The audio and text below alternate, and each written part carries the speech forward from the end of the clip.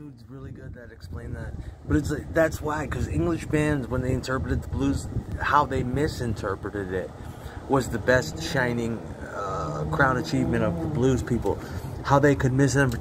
It's not a question of how they can misinterpret it. The record pattern like that. It's, it's beyond me, but because it's England, they have things like waltzes where a lot of their timings before rock and roll were three, four, like one, two, three, one, two, three, one, two, three, one, two, three. Sugar plum fairy, sugar plum fairy, one and two and three now. You know what I mean? And that's what it was, unfortunately. So, so like when they heard like rockin' four four with 12 bar, it was so liberating to them. They're like, holy shit, we're busting out of this Viennese tango that we've been stuck in forever. You know what I mean? This endless Anglo, uh, you know, restrained, uh, corrected, upright, stiff upper lip fucking dance mode into like foot loose.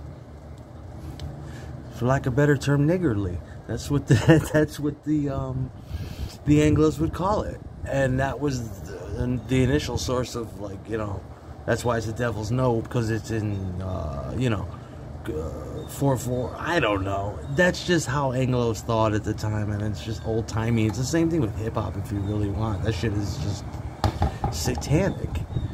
So that's why I like it. No matter how much it sucks, it seems like there's some kind of redeeming value, I guess. Because it's like the Hoople. All the young dudes, all the young dudes, pay the fucking union dues, motherfucker pay to be in the goddamn Elks Club with me. I'm a senior, I'm a street fighting fucking man. I paid the dues for you. So won't you won't you pay that buck forward sometime? You know our usual song. That's how it goes though, dude.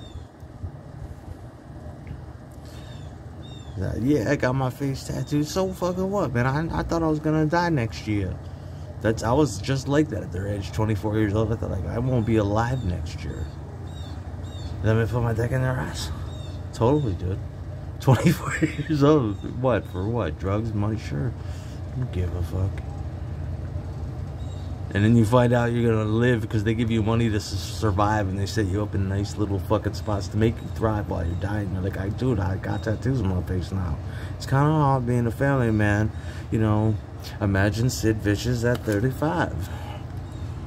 Imagine me with tattoos on my face next year. I'm to be 27, dude, and I'm standing at the proverbial 7-Eleven with you. That's how it goes, dude.